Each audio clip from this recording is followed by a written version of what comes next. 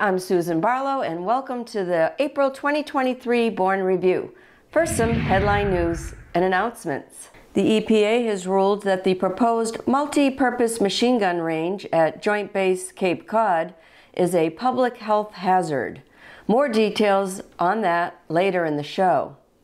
The Garden Center at 171 Clay Pond Road, formerly called Spencer's Garden Center, has received approval to open and operate a cafe at the center. It will be called Cape Casual Cafe and Garden Center. The nursery is currently open, but it is unknown when the cafe will be ready. The annual Daffodil Festival was held at Aptucxet this week long event kicked off on Saturday, April 15th. There were lots of crafts for children and adults. All the kids are here. Haley and Chloe are making laurels for their heads. Okay. And Jacob's making a uh, eagle eye or cat's eye, whatever. I forget what they call it. Yeah. Are you having fun? Mm-hmm. Yeah. All these flowers. Wow. Uh, it's a flower tape where Okay. you basically just wind it in together and then you just wrap it around. Beautiful. So cute. I'm gonna be making a bouquet of flowers out of my hand. Print. A bouquet of flowers out of your hand. And they kind of look like daffodils. Yeah. Yeah. Very cool. Live music with Chris Carter.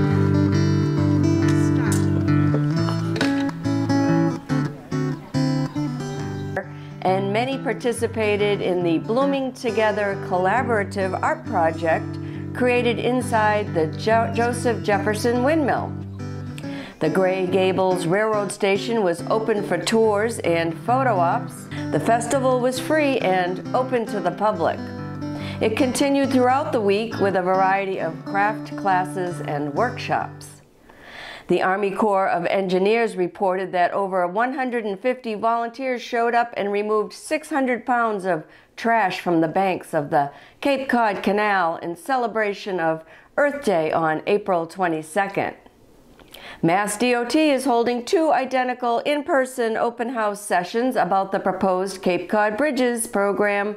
They will be held at the Bourne Community Building, 239 Main Street on May 17th. The afternoon session is noon to 3, and the evening session is from 5 to 8 p.m. The meetings will provide updates on the status of the bridge replacement program, interchange alternatives, potential bridge locations, and lane configurations, including maps of the program area and what to expect next. The Aptucxet Garden Club of Bourne held a presentation at the Bourne Library for Arbor Day.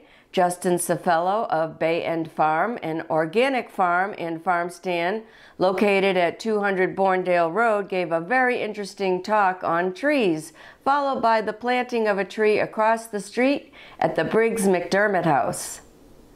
Our little corner of the country was shocked when locally Airman First Class John Teixeira, who helped maintain classified communication systems in the Air National Guard at Joint Base Cape Cod, was arrested and charged with unauthorized retention, removal, and transmission of national defense information and classified documents that he allegedly leaked to an online forum popular with video gamers.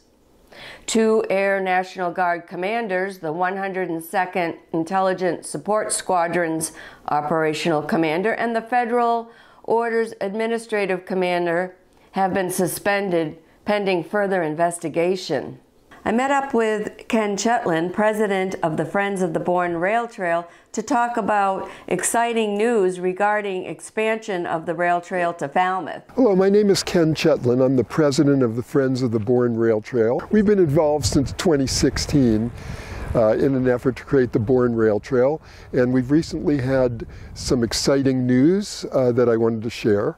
On March 7th of this year, we had a meeting before the Bourne Select Board, uh, and the Bourne Select Board voted unanimously to approve a pivot from a rail with trail design to a rail to trail design for the Bourne Rail Trail. Bourne Rail Trail is intended as a six and a half mile pathway for bicyclists and pedestrians that will run from the Shining Sea Bikeway to the Cape Cod Canal where we are now.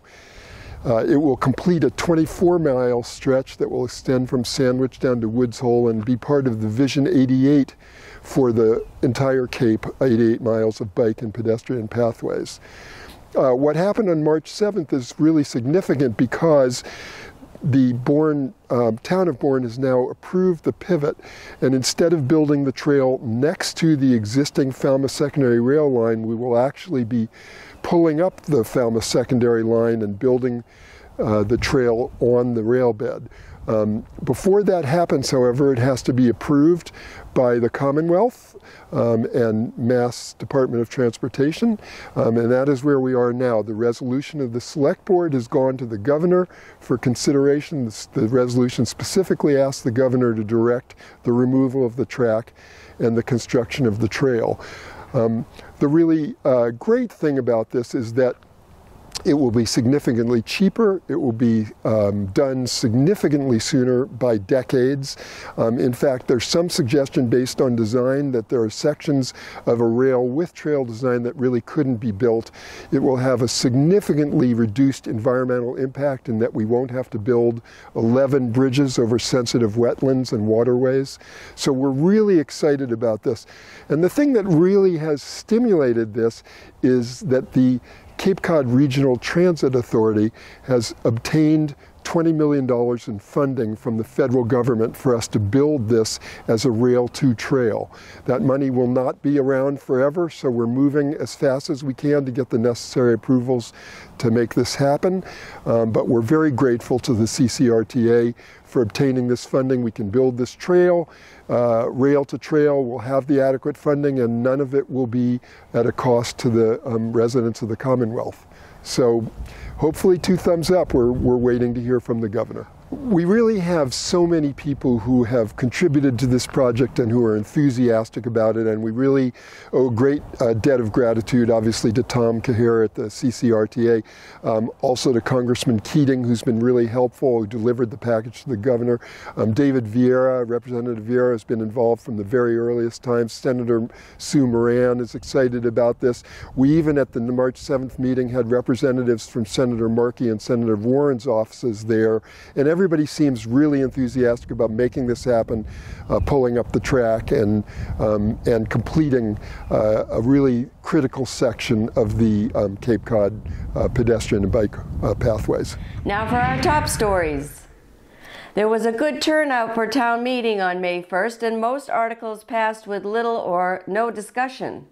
The ban on marijuana dispensaries was held up by just two votes at special town meeting, with a vote count of 249 against removing the ban and 248 in favor of dispensaries in Bourne. At 7 o'clock, there were 276 voters in the Bourne High School auditorium. By 7.30, when the special town meeting began, the number had increased to 442, and when Article 7 regarding the marijuana dispensaries came up in the lottery, there was at least 497 voters present as the vote was 249 to 248. Speakers opposed to lifting the ban voiced concerns about children's safety, harmful effects of marijuana, and its use leading to illegal drug use and harder drugs. Speakers in favor of lifting the ban spoke to tax revenue that the town of Bourne is missing out on. Lori Howe of Shore Road, who filed the private petition to put the marijuana dispensary question back before voters on owns Cape Wave Cannabis in Carver and hopes to open a dispensary in Bourne. She pointed out that three dispensaries in Bourne, which is the allowed amount, would provide about 50 to 75 good paying jobs. 2021 was the first year that marijuana sales overtook alcohol sales, with the state collecting 92.7 million from alcohol and 112.4 million from the marijuana excise tax. Wareham currently has three dispensaries. Sandwich has one medical marijuana dispensary. Mashpee has one dispensary for both medical and adult use sales. There are three there are three marijuana dispensaries in Plymouth and three in Middleborough and numerous dispensaries on the lower Cape. Many dispensaries offer home delivery. Former selectman Steve Mealy pointed out if you ever wondered if your vote counts, this close vote shows that it really does. Article 2 passed 449 to 29, approving the $77,187,218 operating budget for fiscal year 2024. It maintains a level service budget compared to fiscal year 2023. The total bottom line increase of the proposed budget is 4.55% over fiscal year 2023. Most of the increase is due to contractual increases for both employees and contracted services. Article 4 passed 272 to 198 for moving the Chamber Information Booth from the Bourne Rotary to the VFW at 180 Shore Road. The article requested 45,000 from community preservation funds for the move. Chuck Roth of the VFW spoke both about the preservation of the 1929 structure, which is in good shape, and how the booth will be converted to a nonprofit thrift shop to benefit veterans. Article 5 passed with a vote of 249 to 109 and without discussion.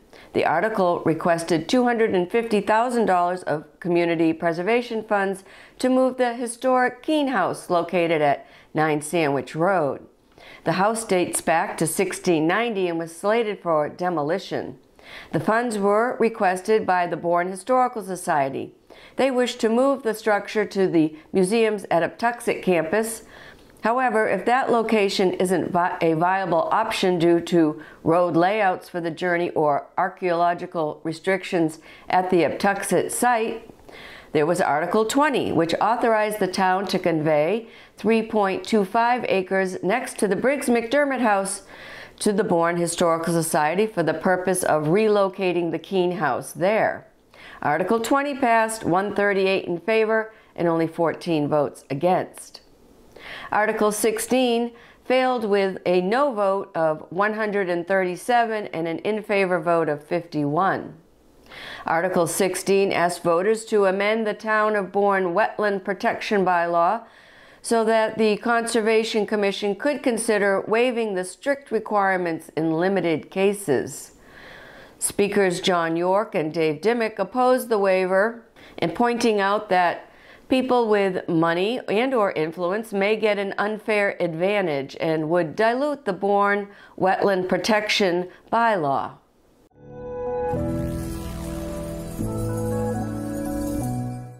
The EPA has released its draft report after 20 months of scientific study regarding the proposed construction of a multi-purpose machine gun range at Joint Base Cape Cod.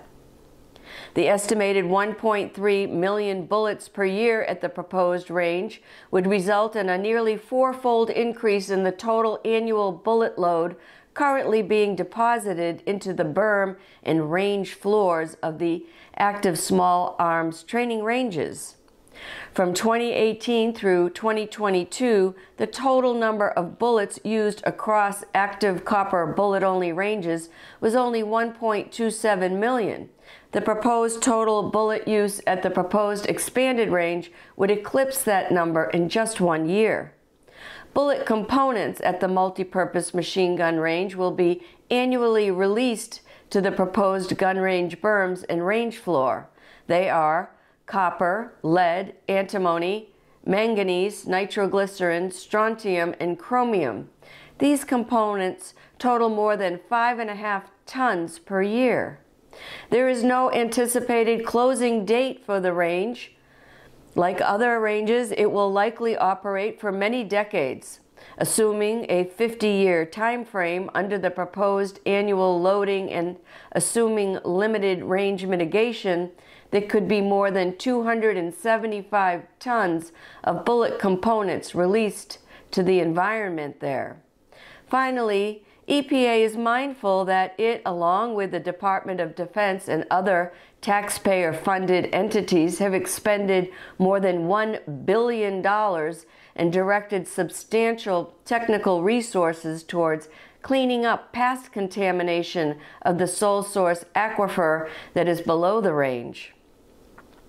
One environmental policy imperative for the region is to protect this investment and, ensure that reasonable further progress is made toward cleaning up the aquifer. Adding an additional set of unknown and poorly understood risks could undercut or reverse progress that has been made to date.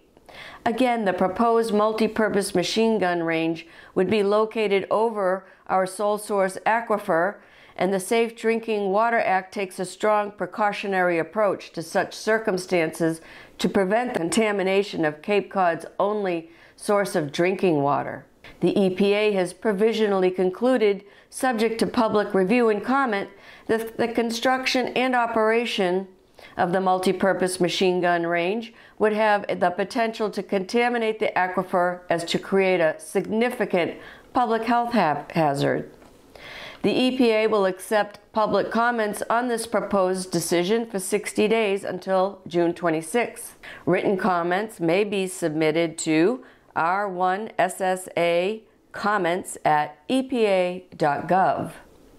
The EPA will also hold a public hearing to receive oral comments on May 24, 2023. The public hearing will be held at the Center for Active Living 70 Quaker Meeting House Road in Sandwich. The formal public hearing will begin at 7 and there will be preceded by a public meeting beginning at 6:30 p.m.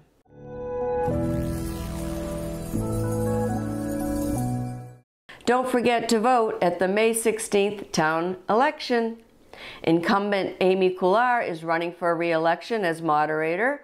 Anne Marie Siroonian is running unopposed for the open seat on the select board. Three candidates running for two seats on the Board of Health for three years. They are William Dusty Meyer, Robert D. Collette IV, and William Bill Doherty, and one seat for one year of an unexpired term. Incumbents Kathleen Fox Alfano and Christina Maria Produce are both running unopposed for re-election to the Jonathan Bourne Public Library Board. There are four candidates for three seats for a term of three years on the Planning Board. Incumbents Jean Arovitz, M. Elizabeth Brown, and Sandra E. Goldstein are all up for re-election, and John J. Dugan has thrown his hat into the ring. The Planning Board has one member position for an unexpired term of two years and one for an unexpired term of one year. James J. Robinson Jr. is running for unopposed for the two-year unexpired term, and William Dusty Meyer and Catherine DeMeo Walton are running for the one-year unexpired term on the Planning Board. Two positions are open for the Veteran Memorial Community Building Trustee Board. Incumbent Christopher J. Farrell is running for the veteran position, and incumbent Donald Lonigan Beals is running unopposed for the non-veteran spot. Three member positions are open on the school committee. Incumbent Carrie Maria Schofield is up for re-election, and Donnell Lonergan Beals and Kendall and D. Kavanaugh Gagney are running unopposed. Incumbent Robert L. Buckley is running against Greg Felino for a spot on the Bourne Recreation Authority. Here's what's happening downtown. The structure known as the Azak Shoe Store at 140 Main Street has received clearance from the Bourne Historical Commission for demolition.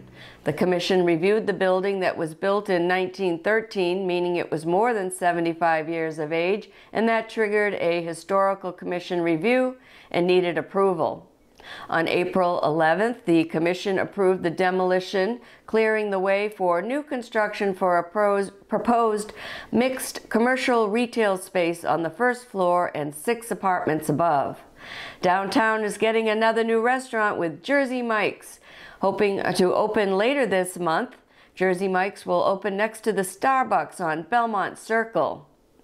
The new Buzzards Bay Farmers Market is open every Wednesday in Buzzards Bay Park. Here's some exciting news for downtown Buzzards Bay.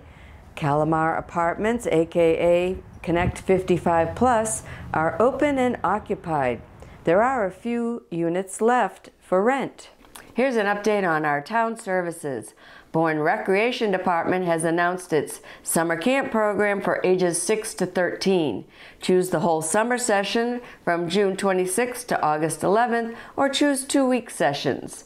Sign up before the spots are filled. A kids fishing derby will be held on Saturday, June 3rd for ages 3 to 14 years old at Queen Sewell Pond, also known as Bumps Pond, on Cherry Street in Buzzards Bay. Prizes are awarded. Cost is $5 per entry. Register at bornrec.com. A volleyball clinic will be held from July 31st to August 4th from 9:30 a.m. to 11:30 a.m. at the Bourne High School gym for grades 4 through 8. The cost is $105. Bourne Rec is holding Canalman Hoop School with Bourne High School varsity basketball coach Scott Ashworth on Monday, July 10th through Thursday, July 13th at the Bourne High Gym for grades 5 through 8. The cost is $105. Register by July 5th, bournrec.com. The Bourne Recreation Department is collaborating with the Bourne Public Schools for a seven week summer program called Slide Into Learning. The program is for grades K through 5 and runs from 8.30 a.m. to 11.45 a.m. Mondays through Thursdays from July 3rd to August 10th. A weekly fee of $110 per student. Call the Rec Department 508 759 0600 extension 5302 if you need more information.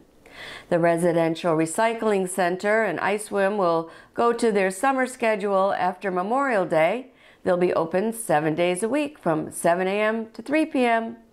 The Board Food Pantry is located at 121 Main Street and is open Tuesdays 9 a.m. to noon. If you're in need of Meals on Wheels or if you can help deliver meals, call Elder Services of Cape Cod 508 394 4630. The Council on Aging, located in the Bourne Community Building, 239 Main Street, offers a variety of programs to those 60 years and older.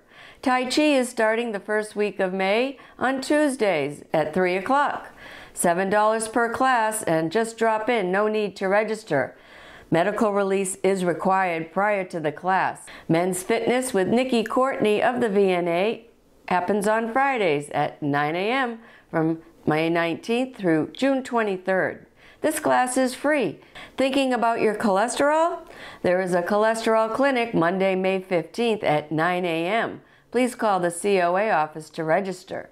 The Walking It Out Challenge presentation with the VNA will be held on Wednesday, May 24th at 10 a.m. Call the COA office to register. Music therapy concert with the star of the TV show The Voice, Kara Brindisi. Kara is touring senior centers across New England to showcase and educate on the therapeutic benefits of music. Call the COA to reserve your seat. I saw this performance a few years ago and it was fantastic. Matt York and the songs of Johnny Cash will be held on Wednesday, June 21st at 1 p.m. Call the COA office to register. There's lots more programming at the Council on Aging. Check out their newsletter online at townofbourne.com. Click on the Council on Aging department and then select Newsletter from the menu on the left. Or stop by and visit the Council on Aging at the Bourne Community Center, 239 Main Street. And while you're there, you can drop off eyeglasses to the Lions Drop Box, donate non perishable food items to the Food Pantry donation box, pick up a novel for a small donation, or return your library book to the drop box near the gym entrance, and much more. Here are some beautiful photos taken by area photographers showing the beauty that surrounds us.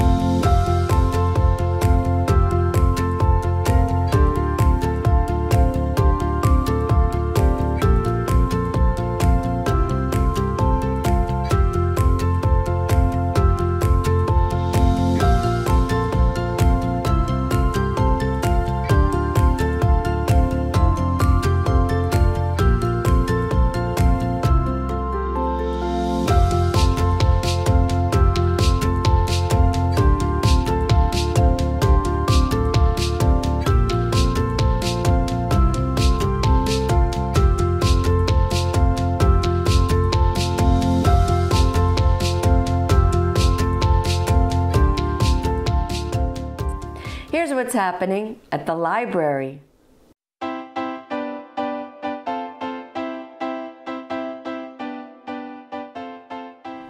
Hi, everybody. I'm Kathy Fox Alfano of the Library Board of Trustees, and with me is Iria Finn, our esteemed director. Oh, wow, I'm esteemed. She is. she is. So, what's happening? Well, first, I wanted to thank everybody for voting for the two projects that were in the special town meeting on Monday night.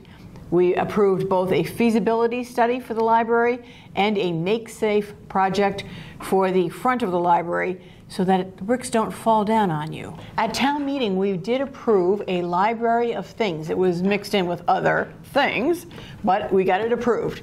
So tell us, what is a library of things? Library of Things eh, are objects, we'll call them objects, that you might not own, you might only occasionally need, you don't really want to go out and buy, um, you might want to try it, and the library will make it available. So, for example, your kid loves frozen. We might have frozen cake pans.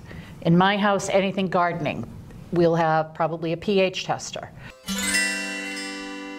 Well, we have been fortunately, very fortunately, been bequeathed money from somebody who loved both the library and golf. I'm sure there are a lot of those people out there. I think this is a big golf town. Yes. So this particular person left money for us to have both new golf books as well as lessons at the Pocasset Golf Club. Wow, that's cool. So, what do you mean lessons? Well, there's going to be a clinic on the short game on May 8th and on putting on May 15th. We are starting a crochet club. The knitters have gone wild. So we are offering a learn to crochet program. It begins May 9th from 1 to 2 p.m. They're going to do a basic headband, which is just learning the basic simple stitches. Do you sign up or just show up? You can just show up. You don't have to bring anything. If you have a project that you're working on, you can. We provide the needles, we provide sample patterns. We have people who have been donating their um, yarn stash, which I didn't know was a thing. I think it's like a book stash, like when you go to a book sale. Oh, yes. So, one of my favorite days of the year is coming up soon. Christmas? No, the book sale. Oh, when is it? It is uh, Saturday, May 13th from 10 to 2. And show up and get some great bargains. The books are $2 for hardcover and large paperback and 50 cents for the smaller paperbacks. And then I think children's is 4 for a dollar. Our writing group met for the first time in April, and our second session is May 17th from 2 to 4. We have a facilitator who's going to kind of lead you through guided questions and gui- guided guided exercises so that you can start your writing habit. We have beginners, we have people who have been self-published. That sounds really interesting. You should come. I will. You have a lot to say. Oh, Yes. We have partnered with the Visiting Nurses Association. They've been coming on Tuesdays from 10 to 11. They've been doing blood pressure screenings. They've been answering questions. If you have a new medication, um, she's just been a nice resource. So we've expanded it a couple more weeks. Okay. And on the 23rd, she's going to be doing cholesterol screenings. Okay. Because she is doing screenings, we ask that you register so that she knows how many kits to bring. Normally, it's just a drop in. How do you feel about toddlers?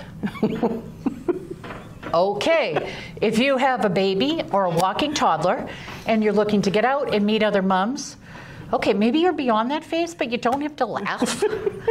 um, Miss Angie has some spots in her group. She usually meets out in front of the library in the circle when it's Oh, uh, the nice. weather is nice.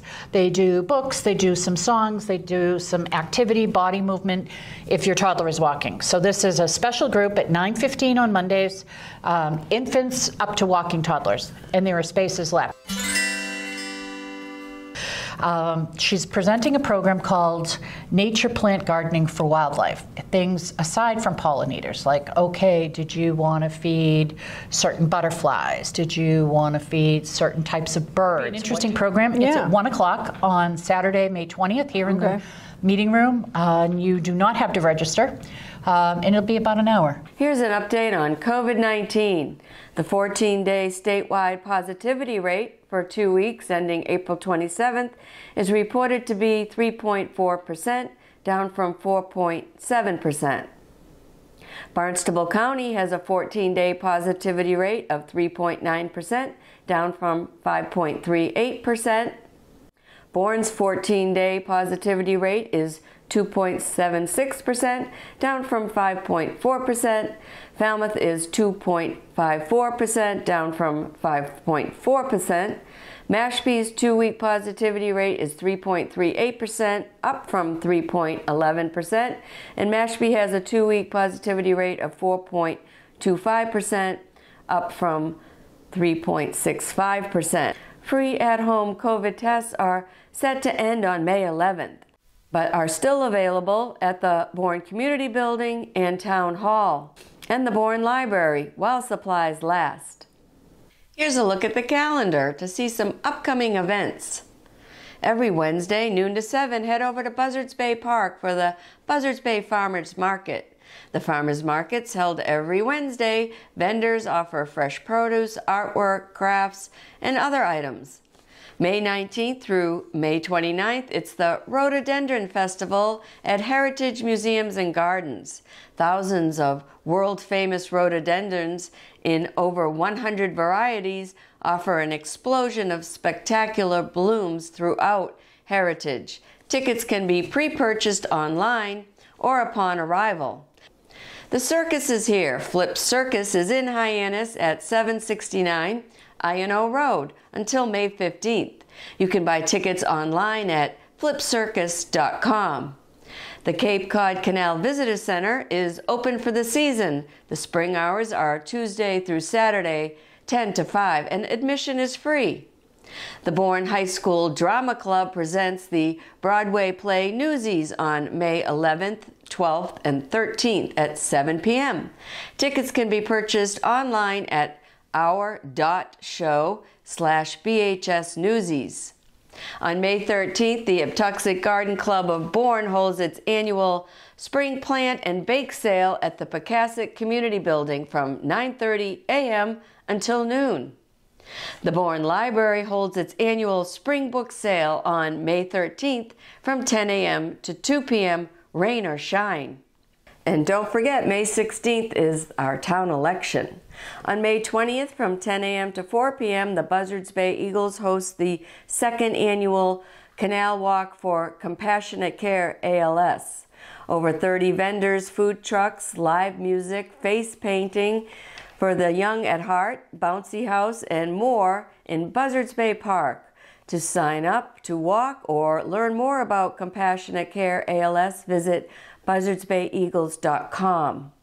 On May 27th, it's Operation Flags for Vets at the National Cemetery in Bourne. A very moving event. The public is invited to volunteer to help place over 77,000 flags at the graves from 9:30 a.m. to 12:30 p.m.